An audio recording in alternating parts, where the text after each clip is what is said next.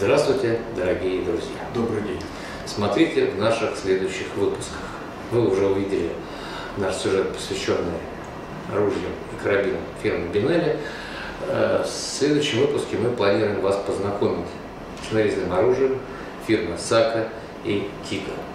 И стоит такой вот выбор перед э, первым болтовым своим э, оружием, карабином, либо выбрать Тика Т3 Хантер, либо Сака 85 Хантер. Да, вот Александр собрался приобретать болтовой карабин, Э, полуавтомат у него есть, много-много он перебрал, и вот круг сузился в процессе работы канала, осталось вот два образца, к чему склониться, вы станете свидетелем в следующей программе, какое решение Александр примет.